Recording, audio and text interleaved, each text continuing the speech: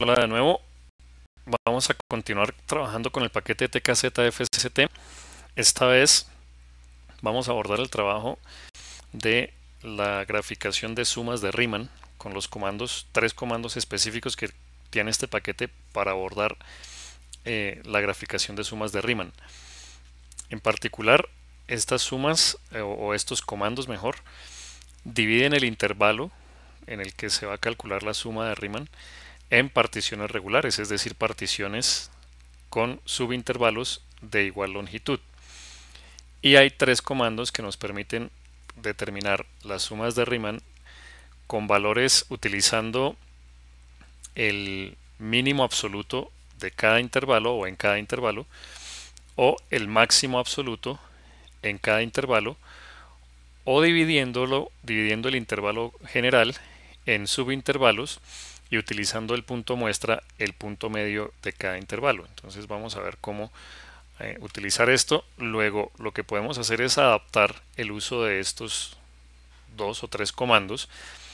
para, por ejemplo, hacer la suma de Riemann utilizando el extremo inferior de cada subintervalo o, por otro lado, el extremo superior de cada subintervalo y entonces de esta forma podemos obtener la aproximación al área bajo la curva de cinco formas diferentes o con cinco, maneras diferentes de calcular la suma de Riemann. Entonces, bien, em, en primer lugar, pues yo tengo ya una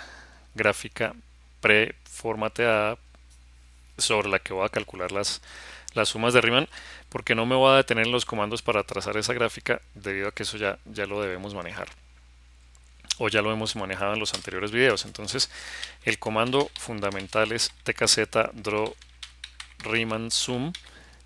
y si utilizamos la opción superior, lo que vamos es a dibujar eh, o mejor a dividir el intervalo general en subintervalos donde el punto de muestra va a corresponder al máximo absoluto de cada subintervalo. Entonces, las opciones que tendremos que especificar son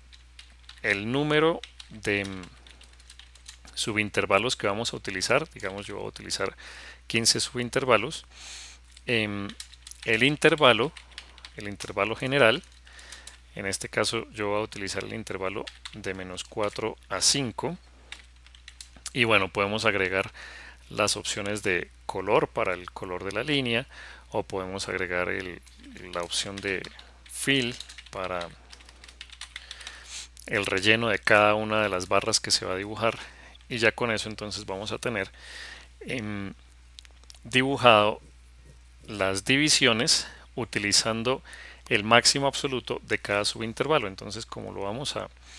a observar aquí en este resultado lo que vamos a tener son las 15 divisiones utilizamos la opción superior, entonces en la expresión de la suma el C sub i o el punto muestra va a corresponder al máximo absoluto de cada subintervalo. Entonces, por ejemplo, del subintervalo de menos 4 a menos 3.5 aproximadamente, el máximo absoluto va a ser el valor en menos 4, el máximo absoluto de ese subintervalo. Entonces, allí es donde va a estar el punto muestra que ese es el f, o sea, el c sub i, y ahí es donde está el límite o la parte superior de la barra. Y así entonces en cada subintervalo va a utilizar el máximo absoluto de cada subintervalo para seleccionar el punto muestra. Digamos en este subintervalo el máximo absoluto es este valor. En el, en el subintervalo de menos 1 a menos 0,33 aproximadamente, digamos, sería ese valor entonces ese es el, el, f de C sub i, o mejor el C sub i. Entonces en cada subintervalo va a utilizar el máximo absoluto del subintervalo. Ahora, si utilizamos la opción inf, va a utilizar entonces el mínimo absoluto de cada subintervalo.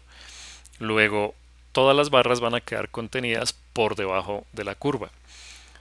Em, como vamos a ver aquí en el resultado que nos va a mostrar. Entonces, cuando utilizamos la opción sub, utilizamos el máximo absoluto de cada subintervalo. Cuando utilizamos la opción inf, utilizamos el mínimo absoluto de cada subintervalo. Y entonces vemos cómo todas las barras quedan contenidas por debajo de la curva porque estamos utilizando de cada subintervalo el mínimo absoluto de la función. Entonces, por ejemplo, aquí en esta barra se, se aprecia claramente cómo estamos utilizando el mínimo absoluto para eh, del subintervalo para trazar la gráfica de la barra. Ahora, de acuerdo a eso, em, la tercera opción de la que disponemos es la, la opción mid que la opción mid lo que va a hacer es utilizar como punto muestra el punto medio o aproximadamente el punto medio de cada subintervalo. Digo aproximadamente porque de acuerdo al número de divisiones que se tomen, em, al número de subintervalos que se tomen, se, se podrán eh, acercar más al punto medio o no. Entonces, digamos, aquí no está exactamente en el punto medio del intervalo, pero la división procura tomar el punto medio de cada subintervalo como punto muestra y eh, utilizar ese valor como la altura de cada una de las barras que va a dibujar. Entonces digamos, para terminar ya, ya con, los comandos que nos permiten utilizar la suma de Riemann, digamos que quiero que los em, puntos muestra correspondan a los puntos que están en el límite inferior de cada subintervalo. Entonces voy a cambiar acá eh, la, el intervalo general lo voy a trazar de 0 a 4 para poder hacer este ejemplo y entonces ¿qué sucede? que de acuerdo a cómo se maneja la división en subintervalos si la función en el intervalo en donde la función sea creciente entonces eh, la opción inf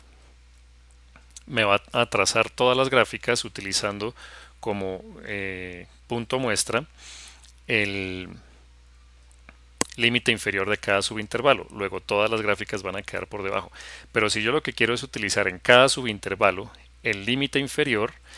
entonces tengo que dividir el intervalo, que en este, el intervalo general, que en este caso es de 0 a 4, en dos partes para asegurarme en qué momento la curva cambia el sentido de crecimiento y en el, en el intervalo o subintervalo donde sea em, decreciente la curva, utilizar la opción superior para que siga siendo el punto muestra, siga siendo el límite inferior de cada subintervalo. Para hacerlo aquí más, más visible, eso que les acabo de mencionar, voy a bajar el número de, de, de las barras de graficación a 7 y con eso nos vamos a dar cuenta cómo en el intervalo en donde la función es creciente, la opción inf toma eh, como punto muestra el, límite inferior de cada subintervalo.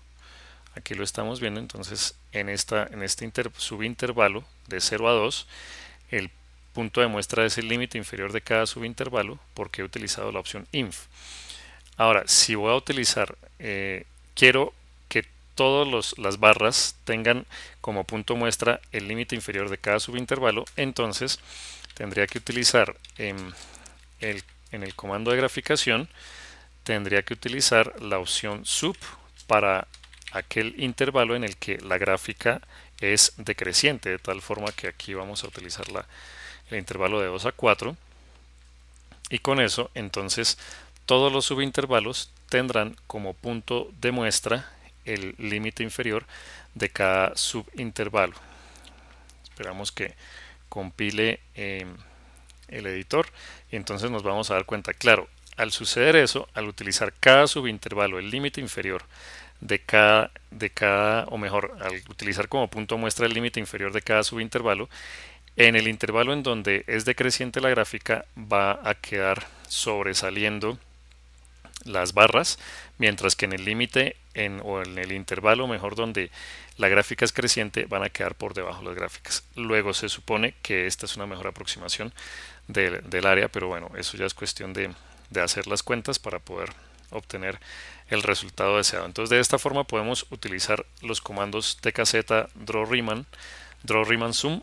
del paquete tkz fct para em, graficar sumas de Riemann en, nuestras curvas. Nos vemos en, en el próximo video en el que vamos a aprender a graficar áreas bajo una curva y áreas entre, entre curvas.